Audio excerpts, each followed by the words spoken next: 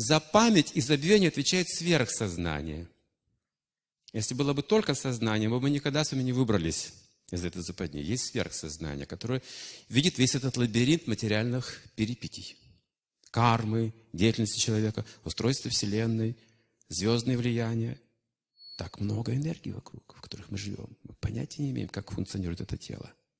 Сколько тут тонких микро всяких движений, всяких протонов, электронов, волн, других энергий, которые еще не изучены, психическая энергия. Мы пользуемся телом, не понимая даже, что это такое толком. Сверхсознание это все регулирует. Это удивительный момент. Вы ложитесь спать вечером, ночью. И как только вы закрываете глаза, вы постепенно все забываете. Оп, и все. Вы забыли все. Вы где-то в другом месте уже. Сюжет там какой-то, какие другие картины. Вы забыли про работу, про близких, про все на свете забыли. Забвение, вы забыли все, смотрите.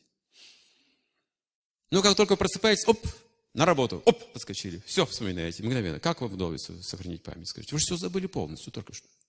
И только проснулись все сразу. Это называется память, забвение. Кто регулирует это? Забвение называется сон. Ничто иное. Вы никак по-другому это не назовете. Забвение – это сон. Это некоторая такая амнезия на ночное время дня. Потому что пока вы помните все проблемы, вы не отдохнете. Можете лежать сколько угодно, но вы не отдохнете, потому что вы в сознании находитесь, вы помните. Нужно отключить память для отдыха. Сон – ну, главная функция для отдыха. Поэтому потеря памяти. Но затем нужно снова приступить к обязанностям. И утром вы себя чувствуете уже увереннее. Посмотрите за ночь. Вы просто поспали, не знаете, как механизм. Это работает сверхсознание. Вы во что-то хотите верить? Сверхсознание подтвердит любую вашу веру, которую вы выберете.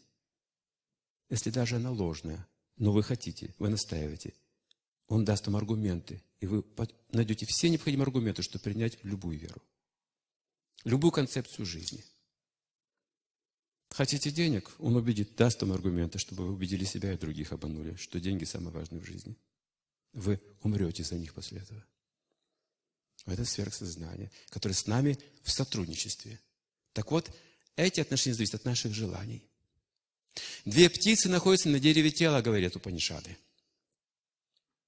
Тело – это дерево, где есть а, плоды сладкие и плоды горькие. Счастье, несчастье чередуются, сладкий, горький плод чередуются. И одна птица, это птица, которая клюет эти плоды. Она живет именно этими плодами. Это мы с вами.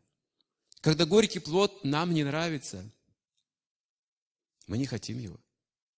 Когда сладкий плод, мы привязываемся и боимся потерять. А другая птица не ест эти плоды, не трогает их вообще. Она наблюдает за этой птицей. Дозволяет, санкционирует, дает им память и забвение, когда необходимо. И когда мы страдаем от горького плода, эта птица говорит, не страдай так сильно. Ведь это же временно, потерпи чуть-чуть.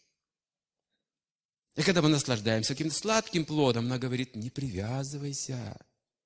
Это тоже временно, страдать будешь. Посмотри на меня. Вот интересный феномен. Когда мы хотим что-то забыть и не можем, а хотим что-то вспомнить, тоже не можем. Вот стоит нам совершить какую-то гадость, и это трудно забыть. И другим у меня. Я бы хотел забыть вообще, но не могу забыть это все, как у Булгакова. Знаете, там Гела была такая. Нет, не Гела, а Фрида. А она задушила ребенка платком. Боже мой, каждый день ей приносили этот платок. Она его сжигала, рвала, бросала в печь. Она страдала, невозможно представить, как она страдала. В том сюжете очень интересно Булгаков. Он же врач, он психолог, он понимает это все хорошо. Практик. И наша проблема заключается в том, как же забыть эти проблемы. Вот в чем наша. Как их трансформировать. В Алмате открылся недавно бар ночной, называется «Амнезия». Как это все забыть вообще, понимаете? Вот хочется все просто взять и забыть. Но сорваться чахам хридиса не видишь там атак смертельным гьяна апоханам ча, что говорится в Бхагавадгите? В сердце источник знания, забвения и памяти.